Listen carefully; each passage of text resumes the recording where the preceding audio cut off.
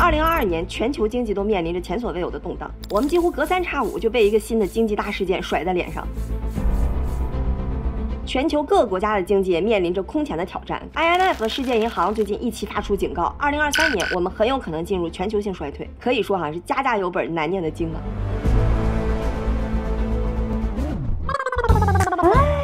又到了一年年底哈，你说年底除了购物，那不就是总结吗？所以小林啊，今天也总结了全球经济的九大主题。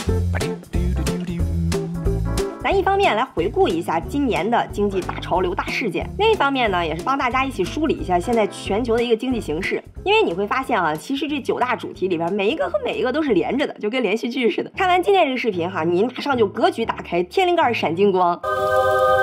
哎，我可没那个本事。啊。这些主题哈，其实有一些我之前也专门做过视频，你要已经非常熟悉的话，就可以跳过啊。我底下也会放上那个章节条，因为本人能力有限，再加上篇幅也有限哈，所以肯定没有办法囊括二零二二所有的大主题。大家如果有什么想补充的呢，欢迎在评论区炫耀一下你的知识，看到别人讲的好的，也欢迎给顶上来。这样呢，就是视频本身加上评论区，我们都是内容，大家可以跟小林一起来记录和总结这个二零二二。那我们废话少说哈，就进入到今天的第一个经济大事件，也是之后各大主题最重要的导火索之一。二零二二年二月二十四日，俄乌战争爆发，冲突在几周之内迅速白热化，演变成二战后欧洲规模最大的战争之一。紧接着，美国、欧盟对俄罗斯、白俄罗斯等地区实施了史上最为严厉的制裁，欧美冻结了俄罗斯央行和银行的大部分海外资产，据估算啊，超过三千亿美元。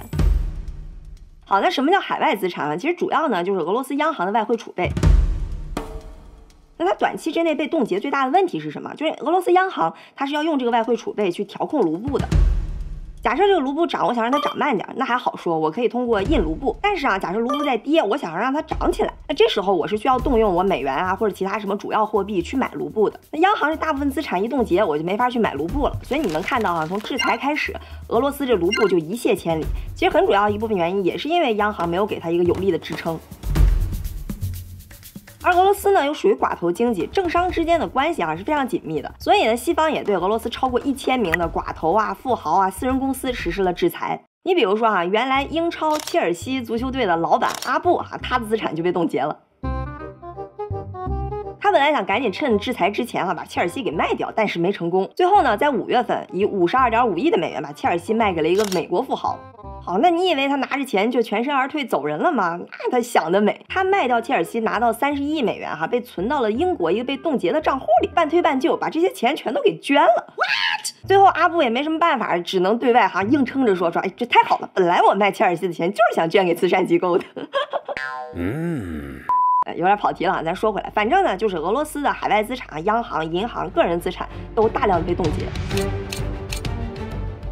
苹果、耐克、麦当劳、可口可乐等六百多个品牌停止了俄罗斯的境内业务。二月二十六号，俄罗斯又被踢出了 SWIFT 国际资金清算系统，基本上就是要把俄罗斯完全从国际金融市场上给隔离出去。德国这边决定停止启用北溪二号，就是连接俄罗斯跟德国哈输送天然气的一个管道。欧盟宣布，二零二二年年底之前对俄罗斯天然气的购买量至少减少三分之二，进口俄罗斯的石油也部分禁运。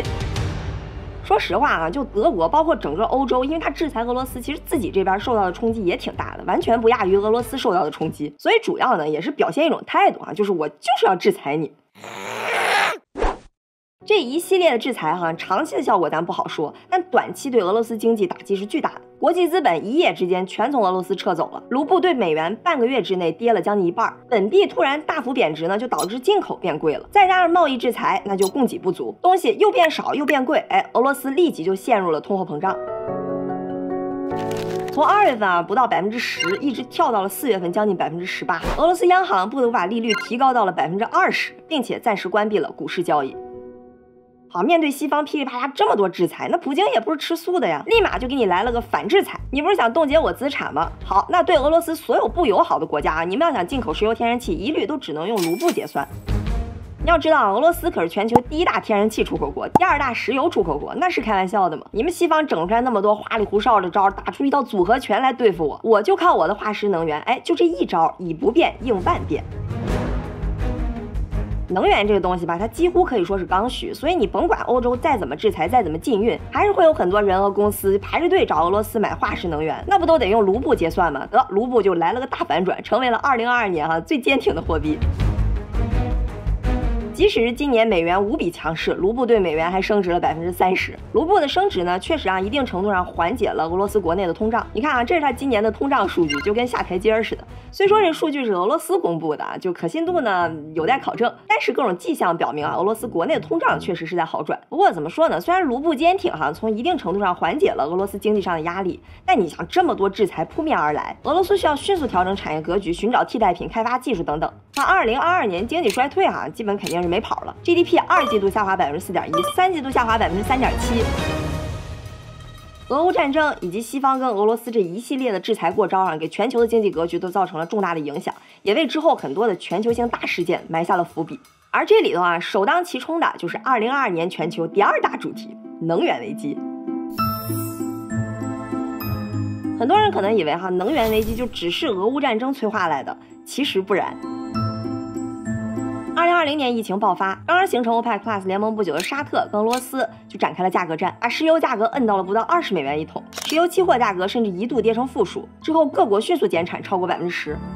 可令大部分人没想到的是啊，二零二一年全球的消费和需求迅速回升了，本来去年一年该花没花出去的钱哈，今年都给补上，市场迎来了一波消费的报复性上扬，各国的 GDP 呢也出现了大反弹。需求的猛烈回升，它本来应该是个好事儿，但有一些产业链周期比较长的，就不是说需求一起来，供给立马就能跟上的，这就引发了二零二一年哈很多关键的产品全球性的供应短缺，而这里边影响比较广的就是芯片、粮食还有能源。所以二零二一年的时候，咱经常听说芯片短缺、粮食危机、能源危机，其实哈都是供给不足和需求猛增这个冲突导致的。不过二零二二年哈，芯片这边供给慢慢上来了，就开始缓和了。粮食呢也还好，但是能源随着俄乌战争的爆发被推到了新的高度，再加上各种制裁，就我用你的不用你的，我卖你不卖你，这油价一下就被推到了一百二十美元一桶。天然气价格在全球大部分地区上涨都超过了百分之五十，欧洲更是一下翻了三倍。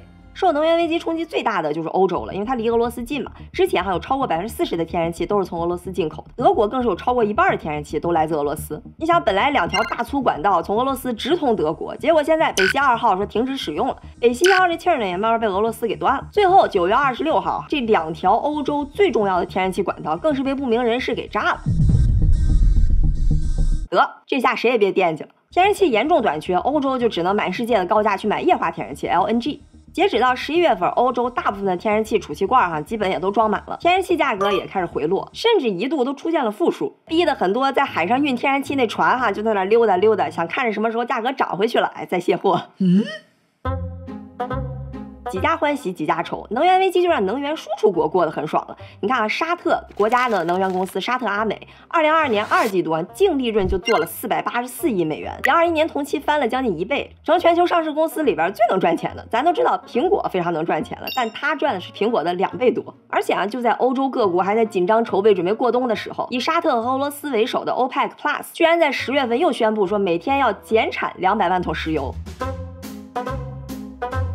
这里边原因啊，其实有俄罗斯跟西方的对立，也有沙特跟美国不对付。但是啊，咱不能光看这些地缘政治的原因，你要是看油价呢，其实从七月份就开始缓慢回落，而且之后全球的经济放缓，甚至可能会陷入衰退。所以 OPEC Plus 减产呢，其实可能也包括了对未来全球的需求的一个判断。能源价格啊，就关乎着我们几乎所有产品的生产，包括我们的出行。而且你别忘了哈，刚刚我们说那暴涨的石油价格还是拿美元计的，美元在二零二二年也是非常强势，除了卢布哈，几乎对所有的人都涨。那你对于其他国家买石油就更贵了。高企的能源价格呢，就导致了二零二二年经济的下一大主题，也可能是现在全球最大的主题，就是通货膨胀。当然，通货膨胀不仅仅是因为高油价了，只不过是能源危机是它的一个催化剂。我们把时间稍微往回倒一点。二零二零年开始，欧洲、美国、日本纷纷进行了史无前例的刺激，来对抗疫情封锁带来的冲击。美国五轮救助计划下来，总共花了超过五万亿美元，平均到每个美国人头上，那都是上万美元的开销。日本就更猛了，花钱、贷款、担保齐上阵，债务比 GDP 超过了百分之二百六，冠绝全球。我们再看各国央行的资产负债表啊，全都来了个大跳。各国激进的刺激政策，突然暴增的需求，全球供应链紧张，但是持续上涨的能源价格，这些条件哪个都很容易引发通货膨胀。所以啊，欧美在二零二一年下半年其实就已经看到苗头了，只不过那时候美联储还说这只是 transitory，就暂时性的，是报复性消费导致的，报复完了就完事儿了。鲍威尔呢就继续保持着低利率和量化宽松，结果就错过了政策调整最佳的窗口。好家伙，俄乌战争这么一刺激，直接就导致了全球性啊山呼海啸式的通货膨胀。美国、欧盟、英国在三四月份通胀飙到了百分之八左右，英国之后更是一直徘徊在百分之十。这些国家啊基本上都达到了四十年以来的最高水平。日本啊总算也是见到了久违的通货膨胀。中国这边啊通胀倒还好，不过也面临着自己的挑战，这个我们一会儿再说。那通胀到底可怕在哪儿呢？哎，这个我们之后会做一期单独聊。但是啊，各国为了抑制这么猛的通货膨胀，就进入到我们的下一大主题——加息。美联储主席鲍威尔这下也不嘴硬了，再也不说通胀只是暂时性的，不得不立马开始全速加息。最开始就一步一个台阶加二十五个基点，五月份就直接一次两个台阶加五十个基点。六月份一看通胀百分之九点一还是降不下来，立马加的更猛，一次七十五个基点，三个台阶加，之后就是三个台阶三个台阶的跨，不到一年啊，硬是把利率从年初百分之零点二五给干到了百分之四点五。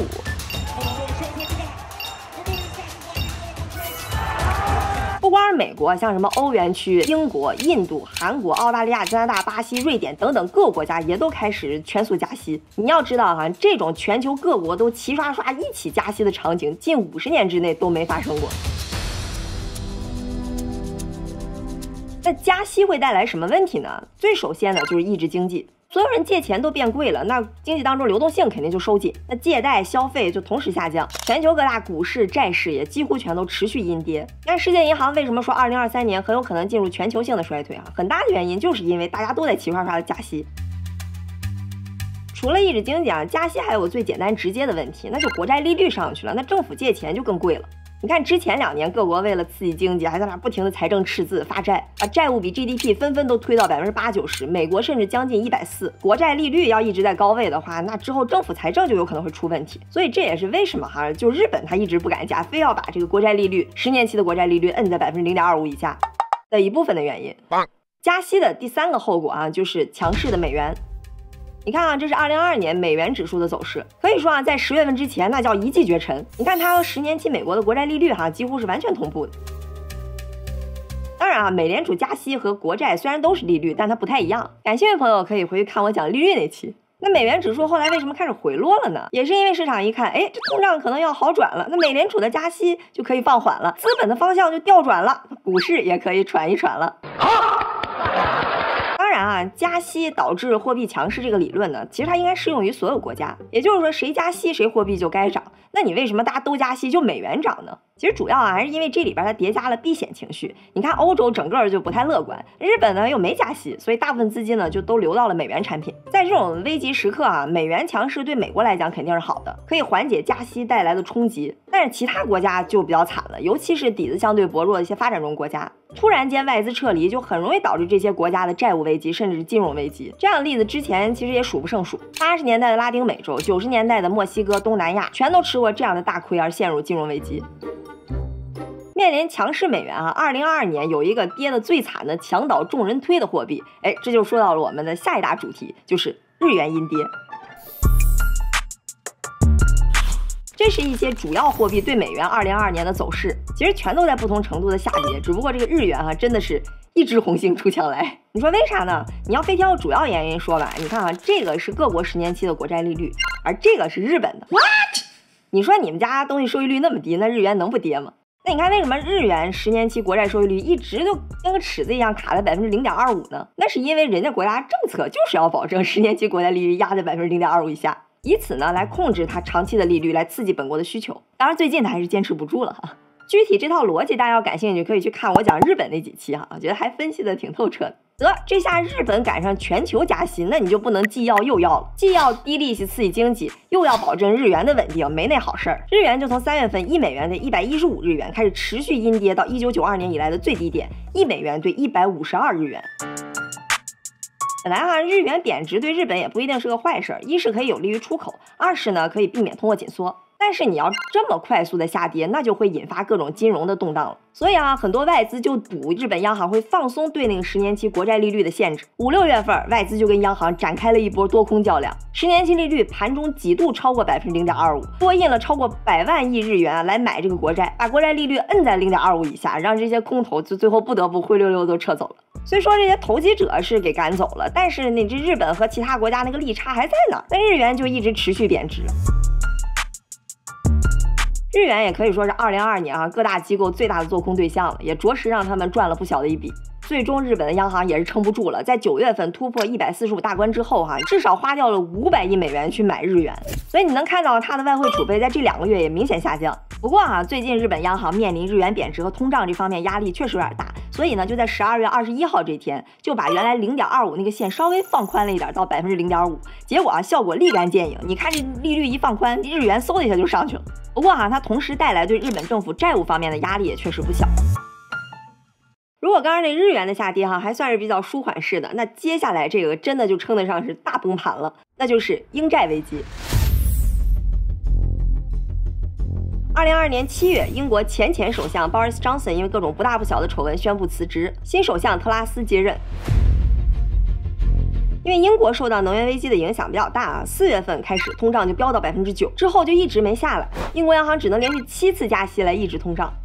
于是啊，特拉斯就推出了一个奇葩政策，就在通胀这么高的时候给大家减税，而且你减税就减税吧，它主要还是给富人减税。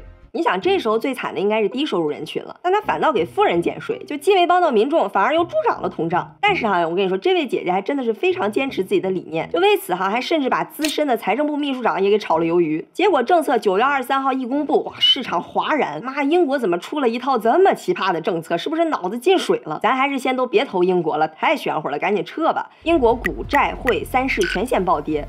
英镑更是跌到了有史以来的最低点，一点零三美元兑一英镑，几乎就是平价，给特拉斯狠狠的上了一节经济学基础。但这个啊，还不是最大的危机，关键是债市。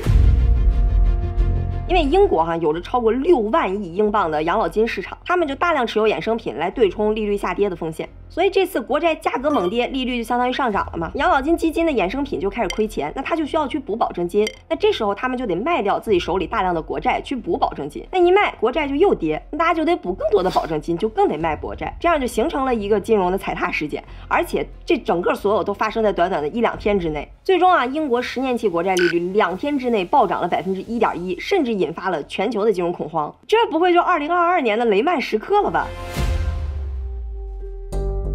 好在啊，英国央行出手还是很快的，赶紧买了六百五十亿国债，把市场给稳住了。闹了这么大一出，特拉斯赶紧撤回了自己之前给富人的减税方案。当了四十五天的英国首相之后，就被迫辞职，成为了英国有史以来任期最短的首相。之后，苏纳克成为了半年中英国的第三个首相。And I have been elected as leader of my party and your prime minister to fix them. And that work begins immediately.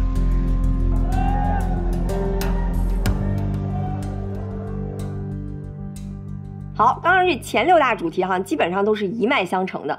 接下来这第七个就相对来讲独立一点了。这个呢，就是中国的房地产泡沫。我们知道啊，中国的经济是非常依赖房地产的。其实全球各国家经济都非常依赖房地产，但是中国它尤其的依赖。结婚你得买房，小孩上学要学区房。中国有超过三分之二的家庭财富，超过四分之一的 GDP 以及地方财政收入的大头，都跟这个房地产绑在一起。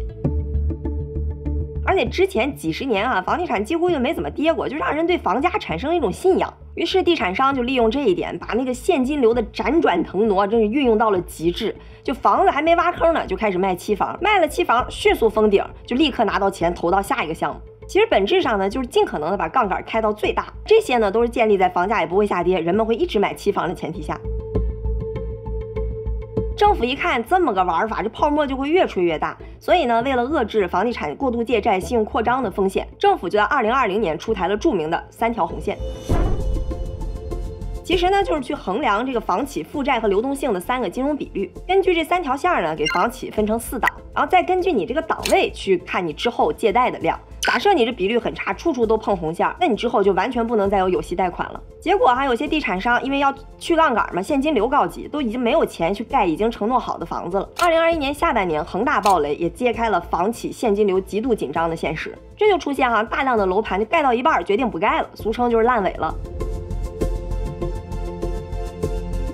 那面对地产信用的风险呢，很多买房的人也避之不及啊。购房需求下降，房价开始下跌或者有价无市，那买房者就更会观望，需求就更萎靡，房企的资金链就更紧张，那信用就更差。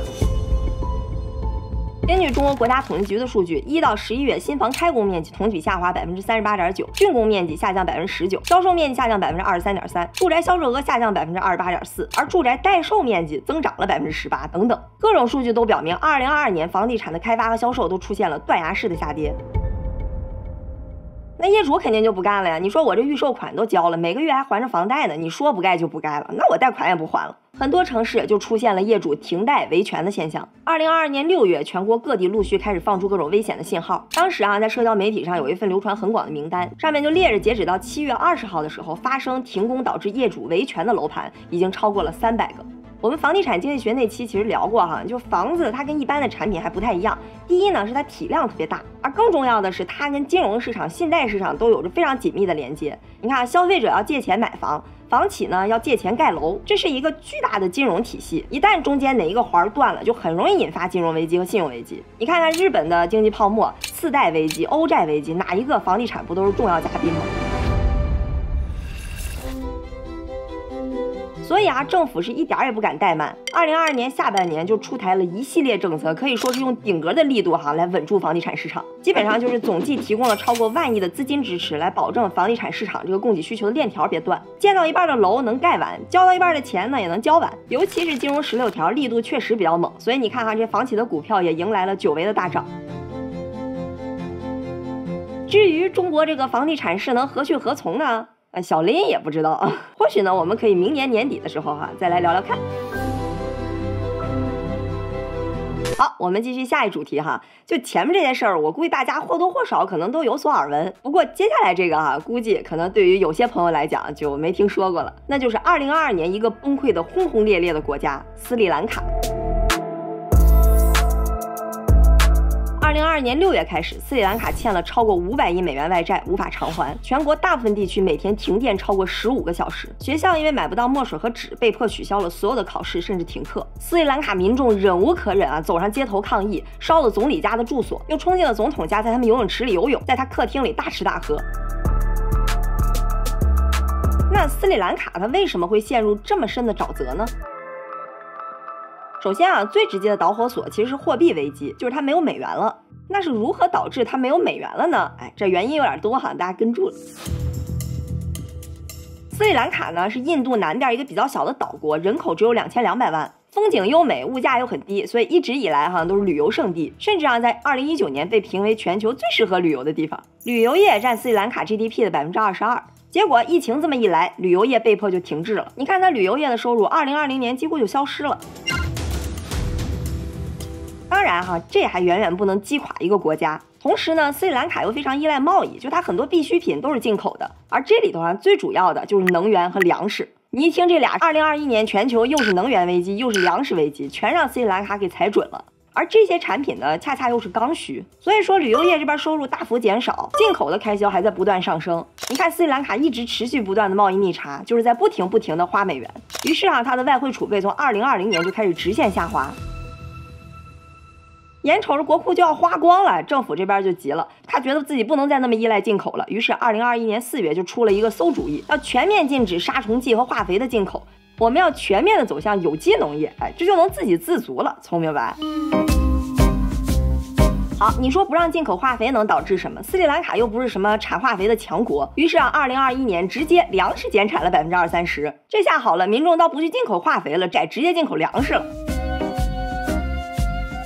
光水稻就花了四亿美元进口，这下美元就更不够用了。那你说斯里兰卡政府怎么办？之前美元短缺，你还可以找别的地方借借外债，但你说这节骨眼上，谁也不愿意借给他钱啊，政府就只能自掏腰包。可问题是呢，二零一九年就在疫情爆发之前，哈，政府还大规模的在减税，财政收入减少，自己也没钱，于是就狗急跳墙，走上了一条不归路，印钱来偿还各种国内外贷款，最终就导致了斯里兰卡超高的通胀。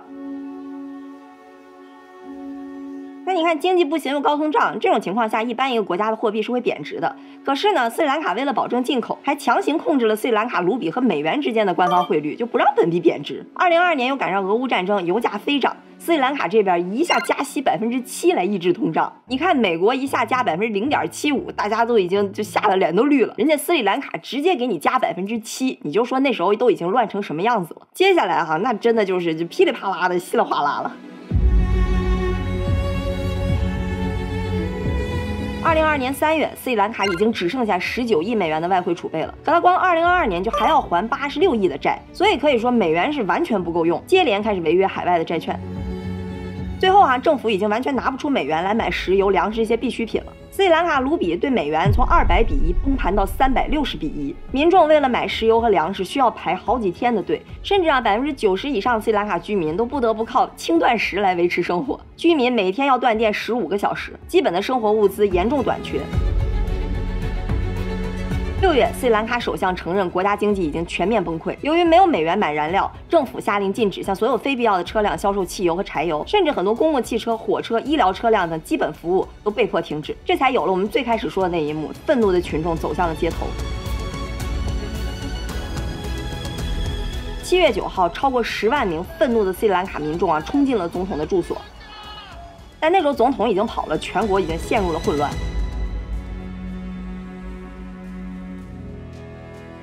斯里兰卡的悲剧呢，确实有很多他自己政策的原因。但是你看现在这个大环境，能源危机、通货膨胀、资本避险、强势美元、供应链问题、去全球化这种相互连接的大背景下，斯里兰卡面临的问题呢，其实是大多数发展中国家，尤其是那种对必需品非常依赖进口的小国都面临的问题。这也是为什么我把它放在了今天大盘点的主题当中。IMF 预计，如果现在全球这个大环境还持续的话，斯里兰卡的倒下只是第一个，之后很可能还会有第二个、第三个发展中国家接连倒下，那葬送的就是可能是几十年的经济发展。好，那二零二二年哈，最后一大主题就是中国的疫情，这个相信大家都已经清楚了，那我就不讲了。那这个呢，就是小林总结的二零二二年全球经济的九大主题，是不是听着稍微有点沉重哈？就感觉这个也危机，那个也危机。其实吧，也并没有那么严重哈。我也是有时候不得不学像经济学家那样，稍微拽几个大词儿。你看都这么多问题了，IMF 还是预测二零二三年哈经济是会增长的，对吧？所以呢，你就该吃吃，该喝喝，该玩玩，快乐的迎接二零二三。下一期啊，咱们就来点轻松的，也换一个非常新颖的方式。至于具体是什么方式呢？下期你就知道了。